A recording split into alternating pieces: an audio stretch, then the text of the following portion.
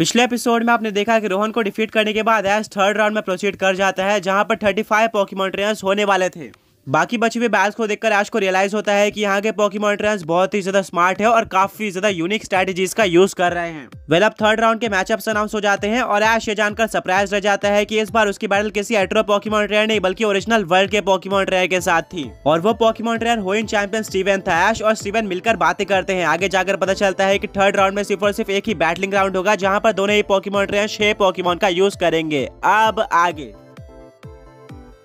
Brock बोलता है कि मुझे पता है कि तुम एल किंगलर के ऊपर पूरा भरोसा नहीं करते हो। मेरे अकॉर्डिंग तुम्हें एल किंगलर को सेप्टल के साथ रिप्लेस कर लेना चाहिए। जो कि एक प्रूवन मैच विनर है, उसने एड्रो में तुम्हें काफ़ी सारी बैटल जिताई है। एश बोलता है कि हाँ ब्रॉक तुमने बिल्कुल सही कहा। मैं एल किंगलर को आगे जाकर भी ट्रेन कर सकता हूँ एंड फ़िलहाल के मुझे स्टीवन के अगेंस्ट बैटल में रिस्क नहीं लेना चाहिए। ब्रॉक की बात मानकर एश पॉकीमॉन सेंटर जाता है और एल किंगलर के पॉकीबॉल को बाहर निकाल कर बोलता है सॉरी मैं वादा करता हूँ की मैं आगे तुम्हें किसी न किसी बैटल में ज़रूर यूज़ करूँगा बट फ़िलहाल के लिए तुम्हें पीसी में जाना होगा। एश अपने एल किंगलर को पीसी में स्टोर करके सेप्टल को वापस बुला लेता है और सेप्टल वापस आकर बहुत ज़्यादा खुश होता है। वो पॉकीमोन बैट्स को मिस कर रहा था एंड वो ऐश के साथ पॉकीमॉन लीग में पार्टिसिपेट करना भी चाहता था। अब ऐश अपने सारे पॉकीमॉन्स को ट्रेनिंग कराता है। ऐश के ऑलमोस्ट सारे पॉकीमॉन परफेक्ट है बट ब्रॉक नोटिस करता है कि ऐश अपने मन के नॉन के ऊपर ज़्यादा ध्यान दे रहा था। मिस्टी बोलते, ये तो गलत है ऐश को अपने बाकी पॉकीमॉन्स के ऊपर भी ध्यान देना चाहिए। ब्रॉक बोलता है कि, नहीं, मेरे अकॉर्डिंग ऐश बिल्कुल सही कर रहा है। उसको पता है कि उसके बाकी पॉकीमोन स्ट्रॉन्ग है और बैटलिंग का एक्सपीरियंस रखते हैं। बट मन कैनॉन एक न्यू पॉकीमॉन है। अगली बैटल एक सिक्स ऑन सिक्स बैटल होने वाली है, जहाँ पर ऐश को मन कैनॉन को यूज़ करना होगा। एंड उसके लिए मन कैनॉन को प्रिपेयर रहना होगा। आखिरकार सामने कोई वीक पॉकीमॉन ट्रेनर नहीं, बल्कि होइन चैंपियन स्टीवन स्टोन है। मुझे आज भी याद है की जब लास्ट टाइम ऐश और स्टीवन ने बैल करी थी पॉकीमॉन वर्ल्ड चैंपियनशिप में तो वो बैटल कितनी ज़्यादा क्लोज हो गई थी। इवन एक पॉइंट पर ऐसा लग रहा था कि ऐश के जीतने का कोई भी चांस नहीं है। मेडाक्रॉस काफ़ी ज़्यादा स्पीड से मूव कर रहा था।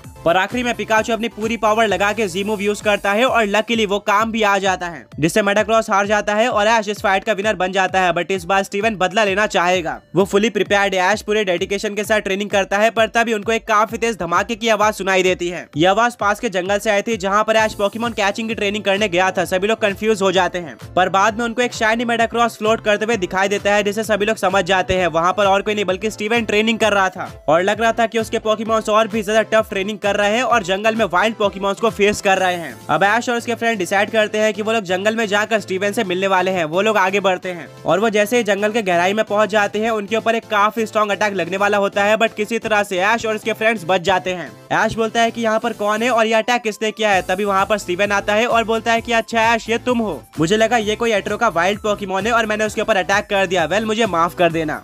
ऐश बोलता है, स्टीवन, हम तुम्हें ढूंढ रहे थे। हमने काफ़ी दूर से एक धमाके की आवाज़ सुनी थी और हमने वहाँ पर एक मेडाक्रॉस को फ्लोट करते हुए देखा था।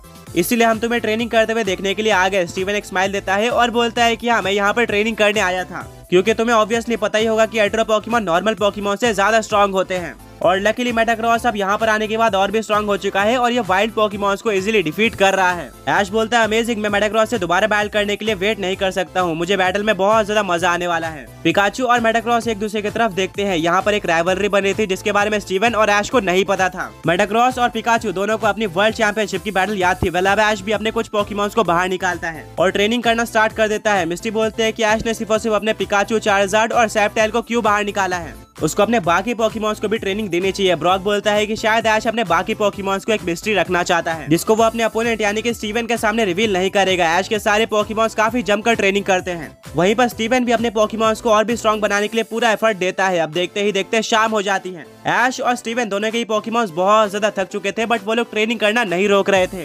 ब्रॉक बोलता है वेल गाइस मैं देख रहा हूँ कि तुम और तुम्हारे पॉकीमॉन्स दोनों ही बहुत ज़्यादा थक चुके हो। अब हमें रेस्ट करना चाहिए। अंधेरा भी हो रहा है और अब कुछ एट्रो पॉकीमॉन्स बाहर आ जाएँगे जो कि हमारे लिए डेंजरस हो सकते हैं।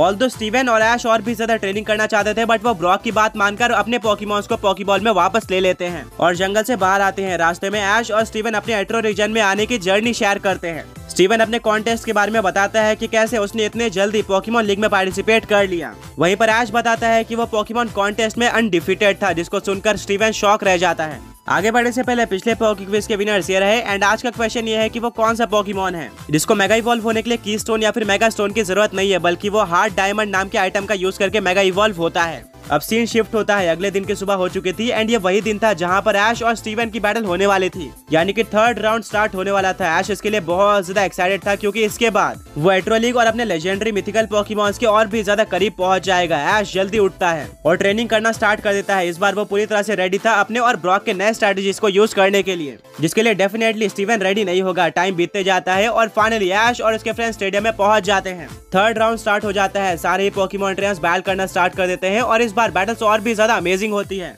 इसी बीच उनको एक ऐसा पॉकीमॉन ट्रेनर देखने को मिलता है जो कि लेजेंडरी और मिथिकल पॉकीमॉन्स का यूज़ कर रहा था। उसने सिर्फ़ और सिर्फ़ अपने दो पॉकीमॉन्स का यूज़ करके अपोनेंट को डिफीट कर दिया और उसको डिस्ट्रॉय कर दिया, जो कि अनबिलीवेबल था। इस बैल को देखकर ऐश को सीनो रीजन का फ्लैशबैक भी आता है, जहाँ पर ऐश की परफॉर्मेंस काफ़ी अच्छी चल रही थी। पर रास्ते में टोबियास आ जाता है, जिसके पास लेजेंडरी और मिथिकल पॉकीमॉन्स थे एंड वो अपने दो पॉकीमॉन्स का यूज़ करके ही ऐश को डिस्ट्रॉय कर देता है एंड उसका सपना तोड़ देता है। ऐश काफ़ी ज़्यादा क्यूरियस था ये जानने के लिए कि ये पॉकीमॉन ट्रेनर कौन है। इसमें कोई भी डाउट नहीं था कि ऐश को आगे जाकर और भी बहुत ज़्यादा स्ट्रॉन्ग पॉकीमॉन ट्रेनर्स को फेस करना होगा। एंड अगर वो इनमें से कोई भी पॉकीमॉन ट्रेनर से हार जाता है तो वो एट्रो लीग से एलिमिनेट हो जाएगा।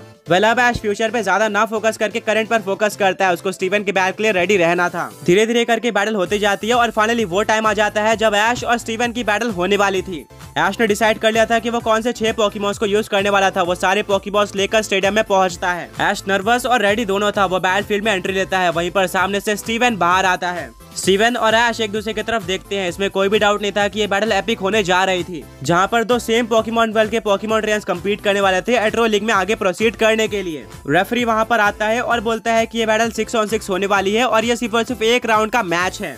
जो भी पॉकीमॉन ट्रेनर अपोनेंट के छह पॉकीमॉन्स को पहले डिफीट करता है, वो डायरेक्टली आगे प्रोसीड कर जाएगा। इस फाइट में सिर्फ़ और सिर्फ़ एक ही फेनोमेना अलाउड है। अब बैल को स्टार्ट किया जाए। ऐश ने पहले से सोच कर रखा था कि वो अपने पहले पॉकीमॉन की तरह किसको यूज़ करेगा। वो अपना पॉकीबॉल निकालता है और बोलता है की मुझे तुम पर पूरा भरोसा है। जाओ चार्जार्ड चार्जार्ड बैटलफील्ड में आ जाता है और एक काफ़ी तेज रोर करता है, जिससे पूरी ज़मीन हिल जाती है। दूसरी तरफ़ स्टीवन भी पूरे प्लान के साथ आया था, वो अपना पहला पॉकीबॉल निकालता है और बोलता है की जाओ। सेलेमेंस ऐश बोलता है स्टीवन तुमने सेलेमेंस को कब कैच किया? ये तो होइन का एक सूडो लेजेंडरी पॉकीमॉन है। स्टीवन रिप्लाई करता है कि वेल सेलेमेंस को कैच किए हुए काफ़ी टाइम हो चुका है और मैंने इसको अच्छी ट्रेनिंग भी दी है। मेरे अकॉर्डिंग ये पॉकीमॉन लीग के लिए पूरी तरह से रेडी है एंड इसने ऑलरेडी काफ़ी सारे पॉकीमोन्स को डिफीट कर दिया है। दो super strong Pokemons battle field में आ चुके थे और इसमें कोई भी डाउट नहीं था कि बैटल बहुत ही ज़्यादा इंटेंस होने वाली थी।